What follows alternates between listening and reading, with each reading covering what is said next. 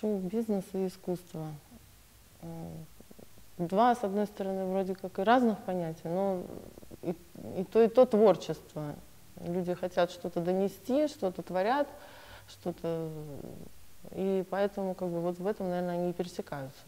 Вот. А что касательно нашего шоу-бизнеса, ну, очень большое, конечно, западное влияние на... так же, как на музыкальные произведения. Исполнители начинают равняться, как бы на русском языке копируя как бы манеру исполнения западных исполнителей.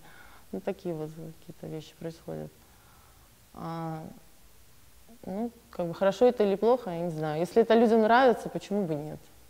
Вот. Опять же, тяжело как бы что-то новое да, внести. Все уже, как бы, как сказали уже, все хиты написаны. То есть и начинают просто вот брать там из классики, немножечко подворовывать там какой-то, как говорят, э, взяли вот, серебряную галошу вручают за что, и там вот, значит, разбирают на конкретных примерах.